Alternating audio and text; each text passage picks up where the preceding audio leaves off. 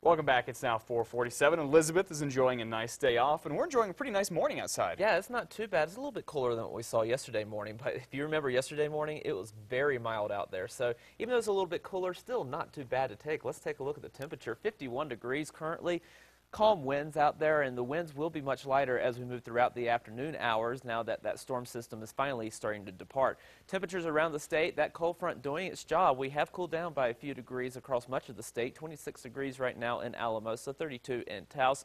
45 in Los Alamos, 42 in Santa Fe. Down to the south, we're sitting in the 50s and 60s here. We're at 59 in Alamogordo, 60 degrees in T or C, 60 also for Carlsbad. Las Cruces is one of the warm spots in the state. They're at 64. We are seeing more sunshine as the sun comes up this morning across the state now that that storm is departing. We do have the chance just of a couple of light uh, light spot showers over the eastern part of the state throughout the afternoon hours, but those chances are very slim. I think we'll see mostly sunny skies for much of the state throughout the daytime hours. Taking a look at the big picture, this whole mess now starting to depart the state. We did drop in a backdoor cold front through the late afternoon hours yesterday and overnight, and that has cooled down quite a bit of the state through this morning. That front is going to continue to push down through the south and will be cooling down for the afternoon highs in the eastern part of the state as well. So the eastern part of the state will be one of those areas to cool down the most. They're going to cool down by about 10 or 15 degrees through this afternoon.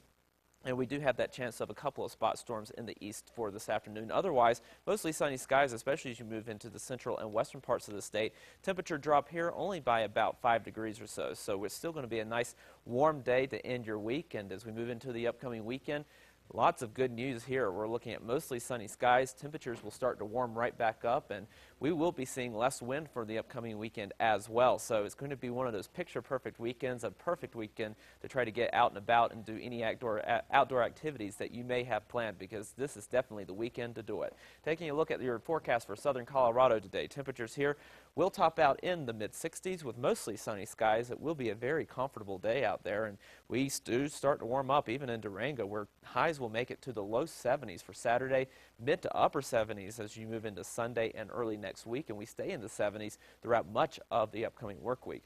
Taking a look at the northwest, temperatures here in the 70s, 68 for Dulce with mostly sunny skies. We will stay mostly sunny over the weekend with light winds and temperatures in the lower 80s for Farmington, and as we start next week, we'll continue with temperatures in the 80s, eventually dropping back into the mid 70s for the middle of the week. Over the southwest, temperatures here into the 70s, even managing to reach 80 degrees and Deming, 83 for Lordsburg with mostly sunny skies and again less wind for this afternoon and we will see little wind over the weekend as well as temperatures make a run for 80 degrees by the end of the weekend and we hover right around 80 degrees as we start the work week and then a few more clouds for the middle of next week. Over the southeast, temperatures here into the 70s, even managing to reach 80 degrees for Carlsbad. Will be a little bit cooler over the Sacramento Mountains, 64 for Ruidoso, 58 for Cloudcroft, with mostly sunny skies. We're back into the 80s in Roswell for the weekend, and then approaching 90 degrees as we start next week with mostly sunny skies. Over the northeast, temperatures here in the 60s and 70s, a little bit cooler in Capulin, where we'll hit a high of 58 degrees. Isolated showers and storms, not out of the question, but I think most of us will stay dry throughout the afternoon hours, mostly sunny through the weekend with temperatures in the 70s. We approach the 80 degree mark as we start next week, but we will see a few more clouds.